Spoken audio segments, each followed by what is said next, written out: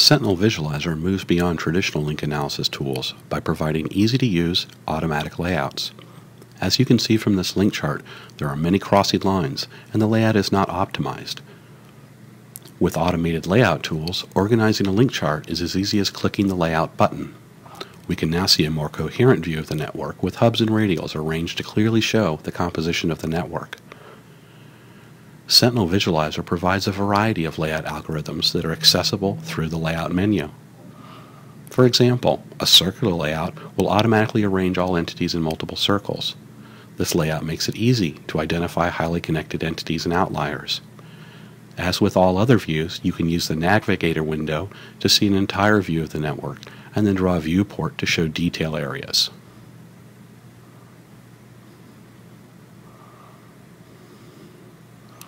The circular layout can also be set to display items in a single circle. Through the Settings menu under Options, we can specify different parameters for different layouts. We re-click the Layout button, and now we see that all entities have been arranged in a single circle.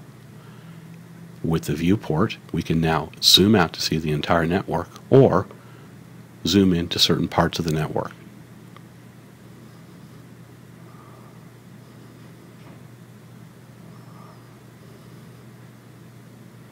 Multiple layout types are supported. For example, we can use the standard incremental layout. We can also support force directed, hierarchical, and orthogonal allowing you to see different views of your data depending on the type of problem you're trying to solve. With automated layout algorithms, we can use Sentinel to find meaning in complex networks. However, additional functionality is needed to deal with complex networks that have many crossing lines. For example, if I query my knowledge base to show me all the links between entities on the screen, I can rapidly see that I'm beginning to lose the ability to see, even with layouts, the composition of the network, since I have so many crossed lines. Sentinel Visualizer solves this problem by providing a network metrics feature. Network metrics allow you to use the automated analysis of Sentinel Visualizer to find centrality by a variety of fields. We click the Calculate button, and values are automatically calculated for our current network. For example, degrees gives us a sortable list of the number of connections for each entity. We can therefore find highly connected entities similarly by the number of connections that they have. Or we can use values from social network analysis to show an even more refined view. For example, betweenness will show us connections and highly placed entities that act as spanners between subgroups. Similarly, closeness shows us entities that only have to make a few hops across their network in order to interact with or affect change in the network. We can also use gradient metrics by specifying a low and high value color and then selecting any of the values. This will allow us to quickly see a color-coded view of our chart showing the most centrally connected entities. We can click on any of the values in the gradient metrics field to see who are the most centrally connected or the most important nodes in any network. But how do we apply social network analysis against the ground truth of what a network is really comprised of? For example, we see an entity in red here that is a highly important entity. If we pull up Sentinel Visualizer's integrated knowledge base, we want to see what are the status fields associated with that entity. One of the status fields is the status of the person is deceased.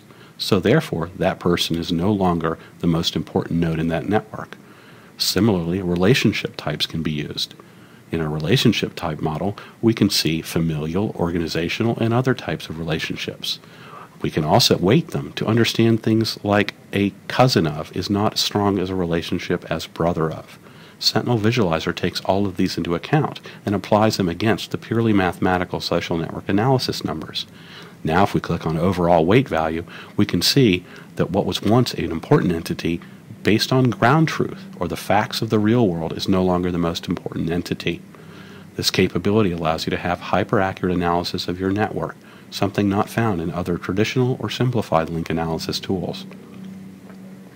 Sentinel Visualizer also allows you to color code lines based on values. For example, the relationship weight, a value, the reliability of the source that gave you the information, their credibility, and the overall information credibility. These features can be used concurrently to allow you to show hyperactive networks and allow you to be predictive.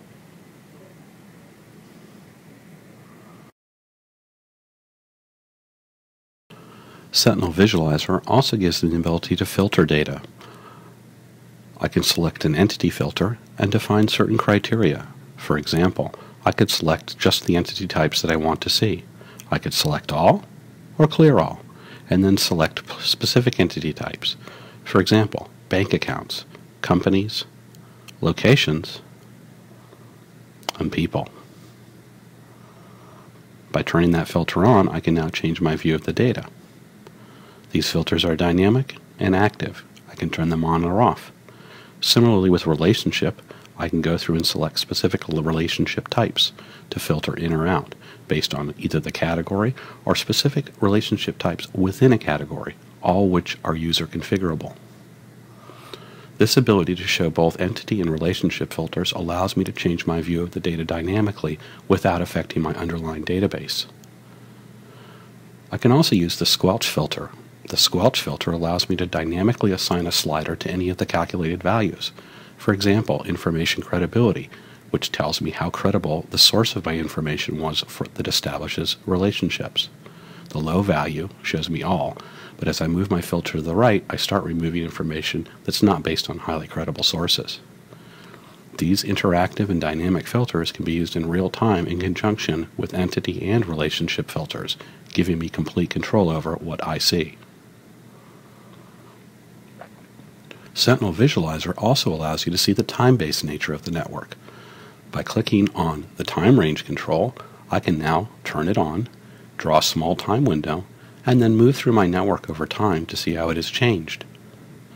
This feature allows me to see how networks grow and change over time, allowing me to establish behavior patterns and structural patterns that allow me to be more predictive. With the time range control, we can also add in the more traditional time bar control. I can similarly pull this off, resize it, and allow myself to see both views at the same time. The dynamic time range control plus the time view control. These features and filters allow me to look at the data that I need to see to solve specific problems